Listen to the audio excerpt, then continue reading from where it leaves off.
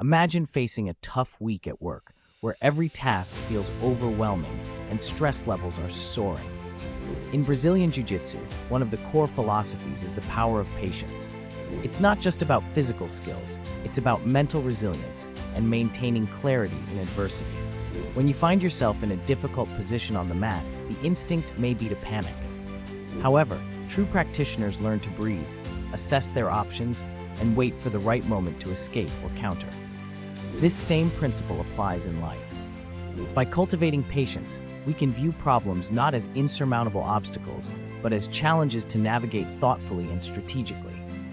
Instead of reacting impulsively to stressors, we can take a step back, evaluate our situation, and devise a well thought out plan. This approach leads to better decision making and ultimately empowers us to overcome hurdles with grace and confidence. Just as in BJJ, where patience leads to skillful escapes and submissions, in life it fosters growth, resilience, and clarity. Embrace patience and watch how it transforms your approach to daily challenges, allowing you to thrive even in the most trying circumstances.